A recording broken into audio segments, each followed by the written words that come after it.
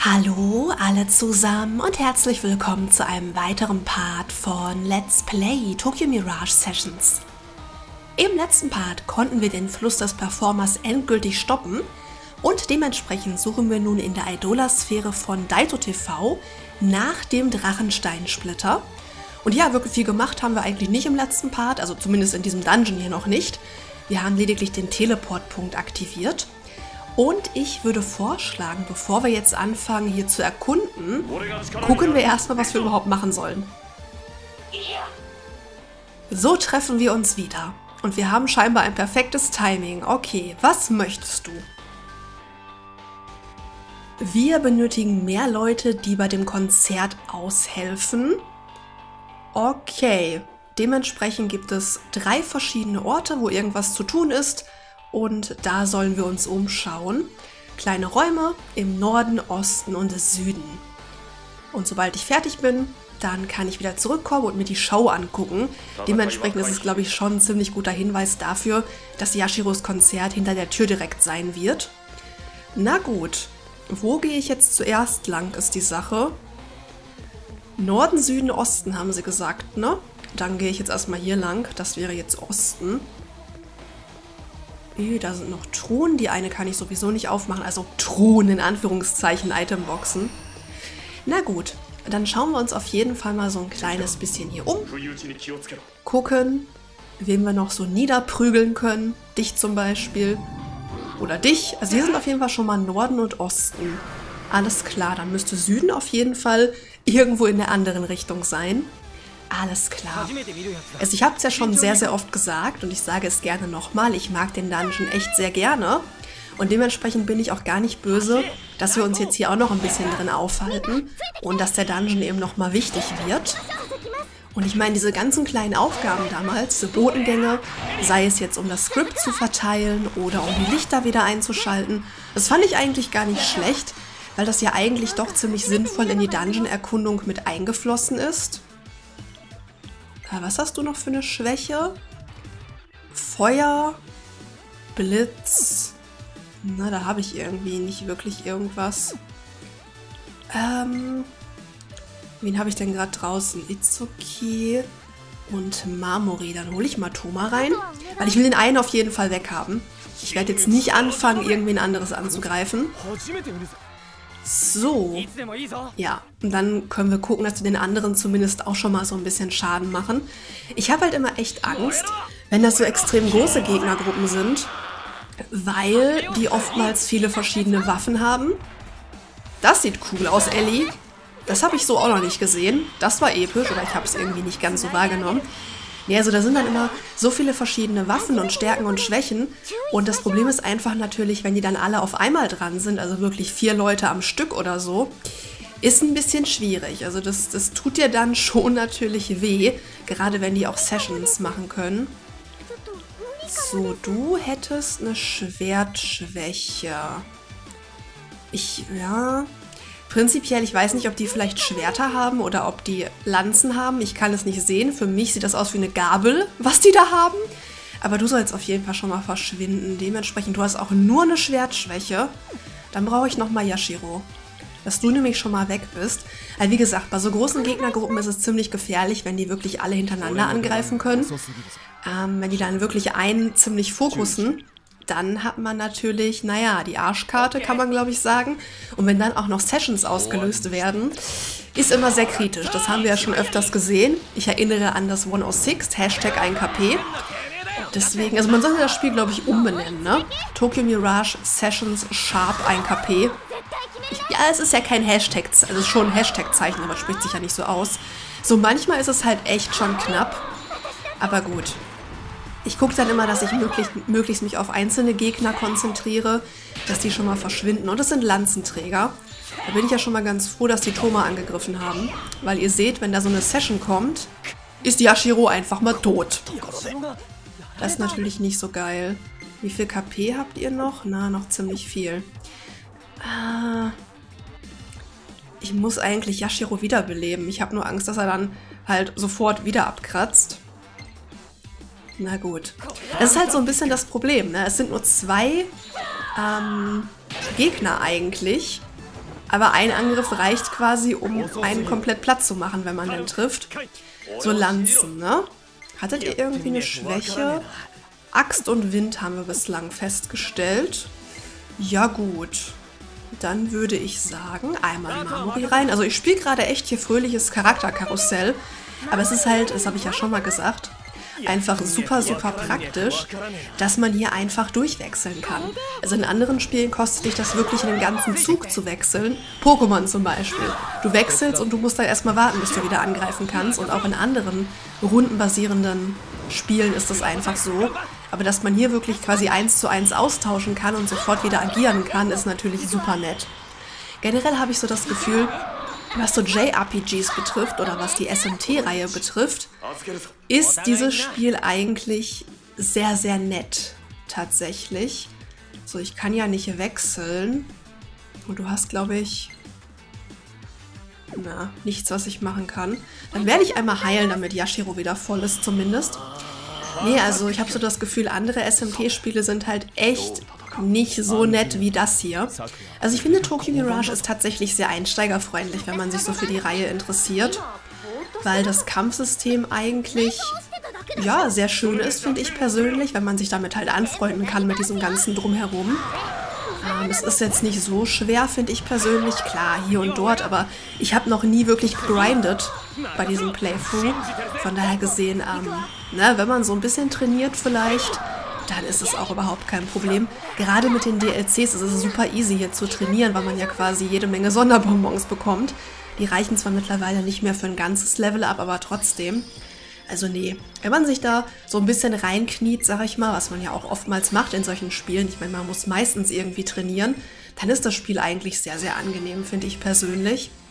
Und die andere Sache ist natürlich, dass Tokyo Mirage dadurch, dass es ja auch so ein bisschen Fire Emblem Einfluss hat und so ein bisschen eine andere Richtung einschlägt, also wesentlich freundlicher als andere SMT-Spiele. Es ist irgendwo eine abgespeckte Version, sag ich mal. Also wenn du jetzt Tokyo Mirage nimmst und daneben Persona 3, 4, 5, was auch immer, du merkst den Unterschied ganz deutlich. Und deswegen könnte ich mir vorstellen, oh, das ist eigentlich ziemlich cool, das nehme ich, ich habe noch Platz zum Glück. Ich könnte mir halt echt vorstellen, wenn du erst die ganzen Persona-Spiele oder generelle SMT-Spiele, abgesehen von Tokyo Mirage, spielst und einfach daran gewöhnt bist, wie tiefgründig die Geschichte dahinter ist, wie viele Funktionen du hast und wie düster das Ganze ist, dass du dich dann vielleicht ein bisschen schwer tust, auf Tokyo Mirage umzusteigen. Ah, so die Waffe. Deswegen kann ich als Einstieg das Spiel auf jeden Fall empfehlen. Ähm, das passt eigentlich noch, aber hätte gerne meine, meine beiden Dreamcatchers vorne. Nein! Einmal zu viel B gedrückt, ich wollte noch heilen. Ah, da, wie sieht denn das aus? Eigentlich nur Thoma. Ja, zack. Und weiter geht's. Dann gehen wir doch erstmal bei Norden raus. Irgendwo muss ich sowieso anfangen. Es ist, wie gesagt, ein schönes Spiel so zum Einstieg. Bin auch sehr froh, dass ich da ein Let's Play zu mache, weil eigentlich wollte ich das ja ursprünglich nicht. Die Aussicht ist übrigens total toll. Ähm, weil ich ja gedacht habe, hm, das ist ja schon einiges an Arbeit mit dem Übersetzen. Es ist ein sehr, sehr langes Spiel. Es spricht vielleicht auch nicht so viele Leute an. Aber ich bin doch sehr froh, dass ich das gemacht habe. Ich meine, arbeitstechnisch habe ich mich eigentlich mittlerweile sehr gut da eingefunden, dass ich da eine gute Routine habe, dass es jetzt gar nicht so extremst aufwendig ist. Und es macht halt super viel Spaß. Also, es hat mir schon immer Spaß gemacht. Aber gerade jetzt im Endgame, wo ich quasi all meine Techniken endlich habe und all die guten Techniken, ähm, man in den Kämpfen dann wirklich so ein bisschen die Qual der Wahl hat, was man machen möchte, es macht schon Spaß. Also auf jeden Fall. Die Story auch, weil jetzt die ganzen Charakterquests halt mal in die nächste Runde gehen. Also gerade so die letzten Charakterquests sind natürlich besonders interessant. Und dann die ganzen späteren Dungeons, wo man sich lange drin aufhält und sich da durchkloppt. Also es macht schon echt viel Spaß. Ähm, ich habe nichts Effektives. Was hast du für eine Schwäche? Nur Schwert. Okay, dann kannst du aber dich ruhig mal eben verteidigen. Ich habe gerade keine Lust zu wechseln. Gut. Itsuki? Perfekt. Hätte natürlich auf Yashiro wechseln können, aber ich habe keine Lust, nach jedem Kampf meine Charaktere wieder auszutauschen. Ja, es ist echt schön muss ich sagen. Und ich bin ja auch so jemand, ich mache Projekte generell, weil sie mir Spaß machen, weil ich, ja, also klar, in erster Linie, wie gesagt, weil sie mir Spaß machen weil ich Freude dran habe. Oder wenn sie blind sind, weil ich halt neue Spiele mal ausprobieren möchte mit euch zusammen. Aber in dem Fall kenne ich das Spiel ja. Ich hatte einfach die Hoffnung, dass ich das Spiel vielleicht dem einen oder anderen auch näher bringen kann. Weil ich meine, es ist, wie gesagt, habe ich ja, glaube ich, im letzten Part mal angeschnitten, ein ziemliches Nischenspiel. Dafür habe ich, glaube ich, keinen Platz mehr. Und ähm, ja, deswegen dachte ich mir, vielleicht kann ich den einen oder anderen ja doch mal überzeugen, da reinzugucken. Und wenn man schon die Konsole nicht hat oder das Spiel nicht hat oder nicht kaufen möchte, dann kann man ja zumindest ähm, ins Let's Play reingucken. Also ich finde das immer unglaublich spannend, quasi zu sehen, wenn ihr neue Spiele entdeckt und da vielleicht auch so ein bisschen mitfiebert. Ich meine, es war mir total klar, dass das nicht jedermanns Sache ist. Ah, du hast nur noch die eine Waffe, okay. Weil es ist interessanterweise so, habe ich festgestellt, es gibt immer Leute, die sich wirklich ähm, begeistern können. Ah, hier ist der Osteingang, okay.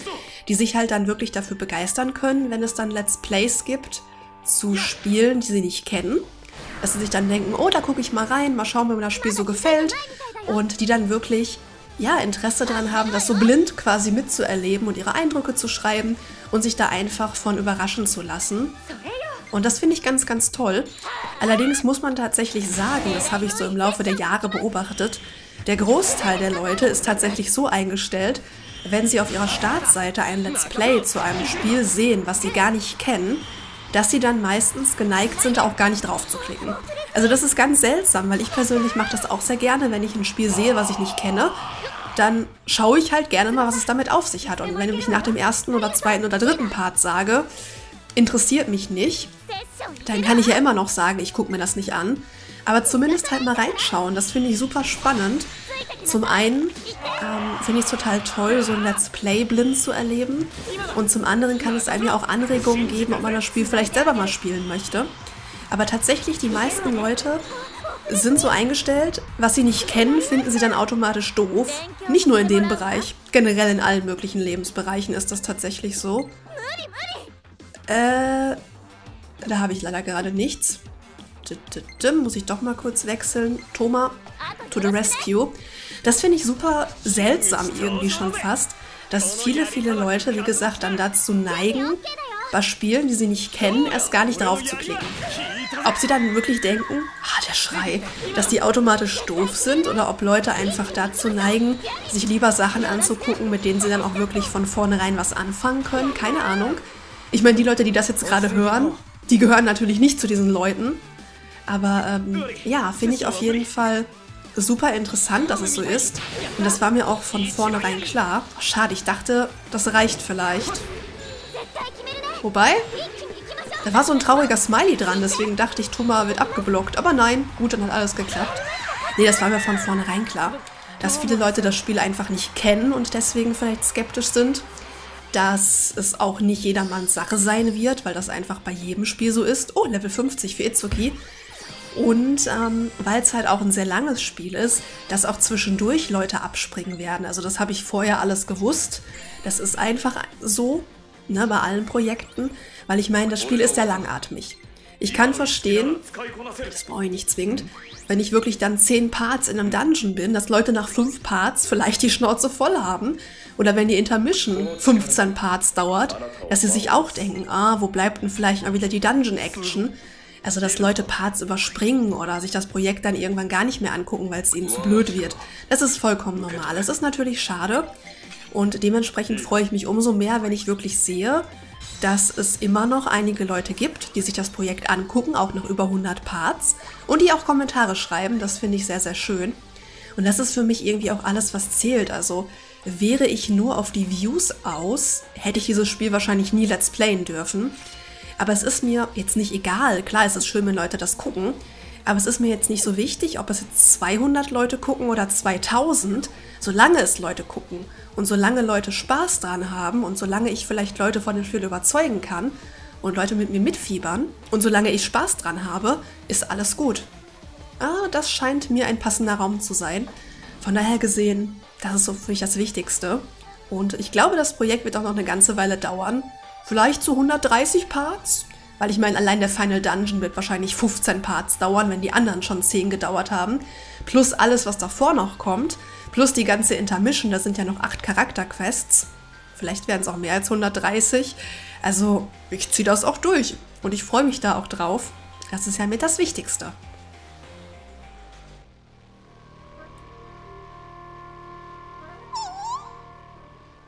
Au, ihr seid die Hilfe?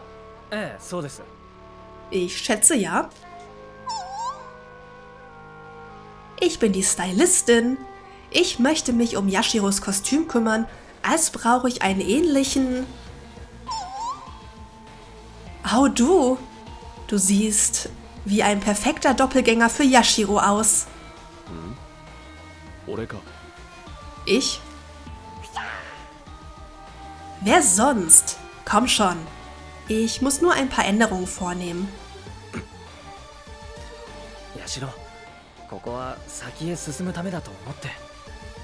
Yashiro, kannst du das Ganze bitte über dich ergehen lassen, damit wir weitermachen können?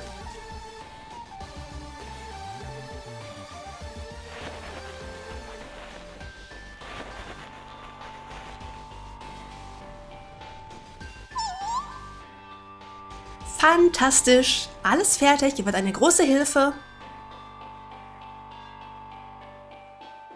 Hm. どうしたんだヤシロ Stimmt was nicht, Yashiro? なかなかの手際の良さだったあのミラージュできるな Das war eigentlich gar nicht schlecht. Der Mirage weiß, was er tut. Das war vielleicht alles ein bisschen frei übersetzt, weil das ja auch nur so kurze Texte waren, die auch nur teilweise synchronisiert waren. Aber vom Sinn her kam es auf jeden Fall hin. Ich meine, klar, dass Yashiro ein guter Doppelgänger für Yashiro ist, kann ich schon verstehen, ne? Aber gut, sein Kostüm steht zumindest schon mal. Das heißt, wir können jetzt weitermachen. Und das war jetzt der Raum im Osten vermutlich, obwohl ich eigentlich im Norden rausgegangen bin, aber nun gut. Haben wir den auf jeden Fall schon mal fertig. So. Hm. Will ich mal ein Special machen? Mein Zähler ist gerade so schön voll. Ja komm, wir klatschen einmal voll drauf.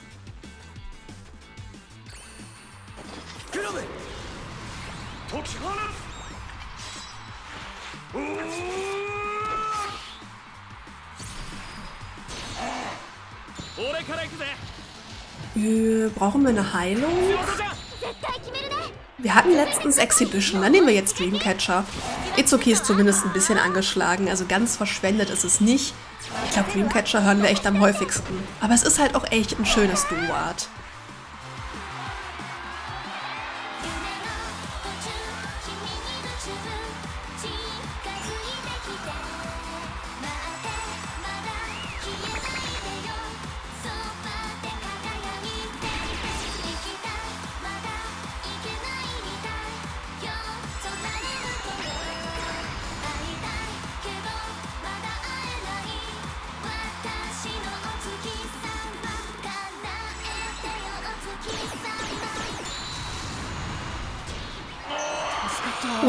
Das war guter Schaden.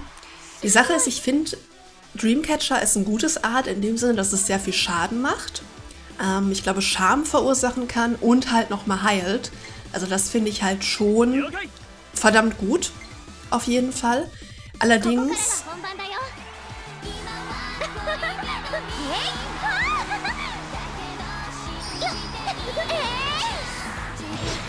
Allerdings musste sich Subasa gerade spontan erstmal ausziehen. Das haben wir auch lange nicht mehr gehabt. Ähm, nee, allerdings finde ich es ein bisschen blöd bei Dreamcatcher, dass man eben keine Session dran packen kann, weil es eben eine Almighty-Attacke ist. Weswegen ich trotz den Zusatzeffekten das Duo-Art eigentlich nicht so bombastisch finde wie andere. Aber Dreamcatcher ist halt so toll, deswegen drücke ich das halt auch echt gerne. Ähm, so generell, wir haben ja Exhibition gehabt, also das von Kiria und Yashiro, das war das erste, was wir hatten. Was ich eigentlich ziemlich cool finde, weil es einfach guten Schaden macht. Das haben wir auch schon ein paar Mal gesehen. Dreamcatcher, klar, finde ich von den Effekten her auch ziemlich praktisch. Man kann leider keine Session dran knüpfen. Das wäre aber vielleicht auch ein bisschen OP bei den Effekten. Äh, ja, klar. Mag ich aber auch sehr gerne. Dann haben wir das von Ellie und Thoma, diesen Crazy Circus heißt es, glaube ich. Na, ich glaube, das brauche ich nicht. Haben wir aber, glaube ich, auch erst einmal oder so gesehen tatsächlich. Also das kommt gar nicht so oft, auch nicht zur Auswahl. Das finde ich einfach nur lustig. Aber ich glaube, ein, zwei Mal hatten wir es auf jeden Fall. Oh, ja, das nehme ich auch gerne. Eine starke Elektroattacke. Dann haben wir das Duo-Art von Marmori und Tiki, dieses irgendwas mit Love auf jeden Fall. Was auch ziemlich cool ist, weil es den SP-Zähler so ein bisschen füllt und auch Schaden macht.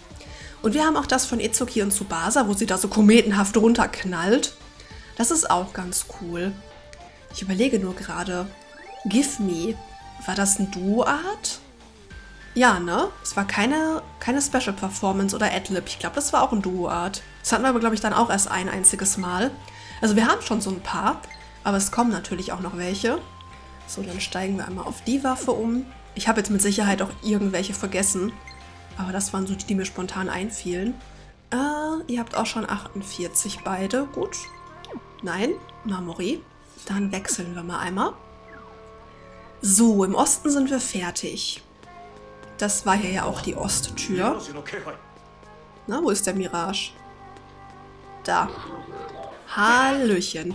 Ich komme auch nur langsam voran hier hinten.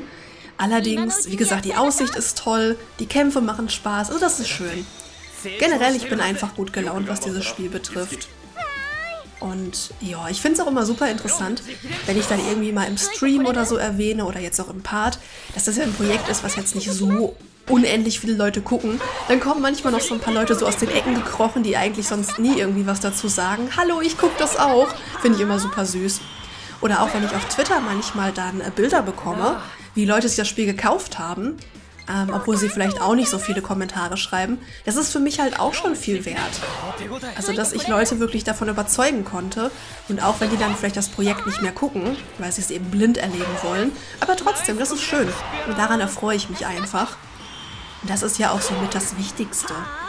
Also ich meine, klar, ich kann immer noch verstehen, dass Leute sehr auf die Views gucken, gerade wenn sie davon leben und so weiter. Also da sage ich auch gar nichts gegen.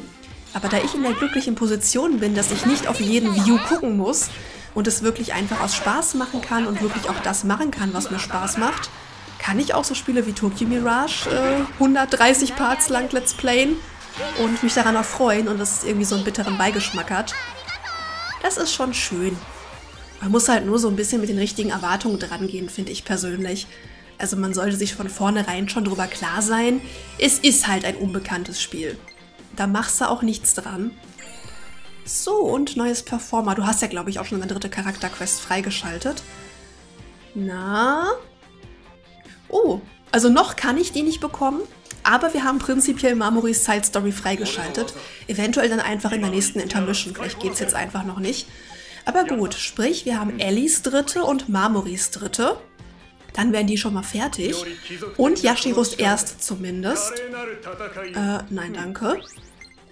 Und ich denke, wie gesagt, die von Tiki, Barry und Maiko, die schalten sich ja automatisch im Laufe der Zeit frei. Die haben ja keinen Stage-Rang. Also haben wir auf jeden Fall genug zu tun demnächst. Ach so, hier ist auch zu. Okay. Interessant. Weil ja eigentlich gesagt wurde, im Norden, im Osten und im Süden. Aber in Ordnung.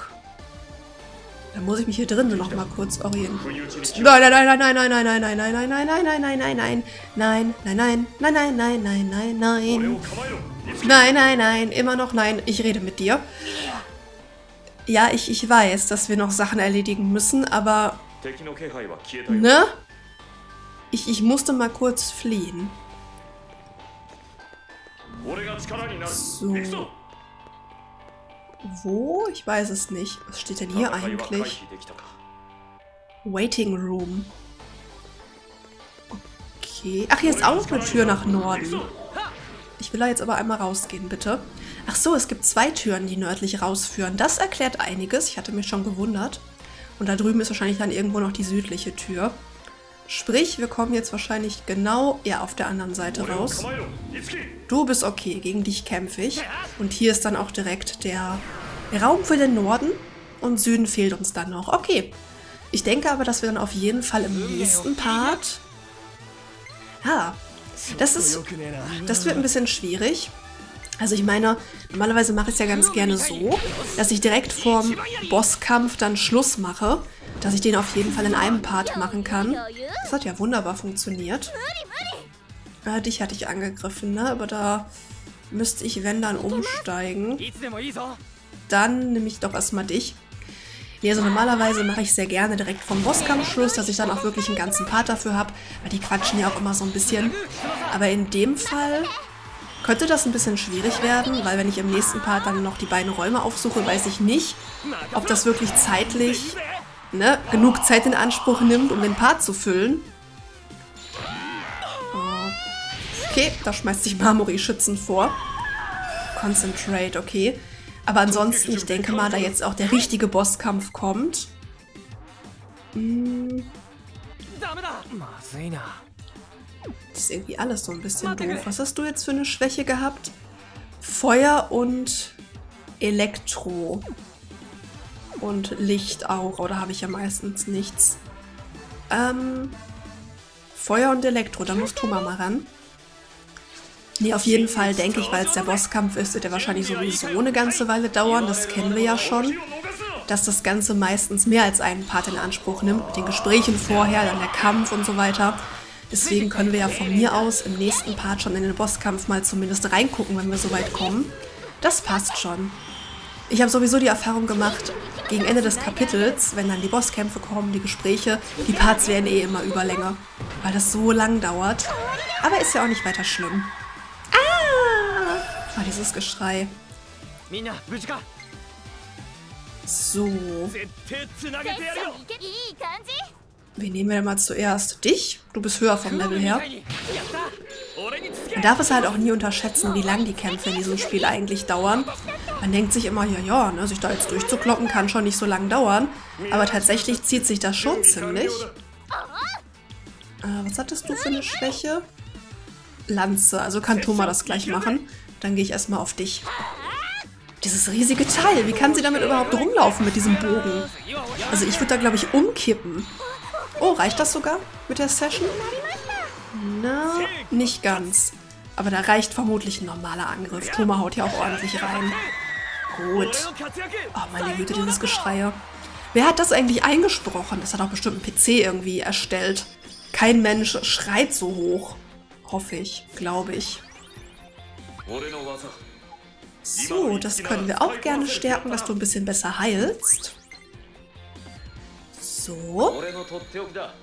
Resist Wind. Du, na, du hast halt also geile Fähigkeiten eigentlich. Also bei den Fähigkeiten bin ich tatsächlich lieber offensiver als defensiver. Habe ich so das Gefühl. Sandüne können wir auch sehr gerne stärken. So. Und du... Ah, ja, die Attacke stärke ich auch liebend gerne. Das ist jetzt so meine Standardattacke, die ich eigentlich immer benutze. Alles klar. Dann würde ich vorschlagen, wir schauen im nächsten Part in den nächsten äh, Lantern Room rein.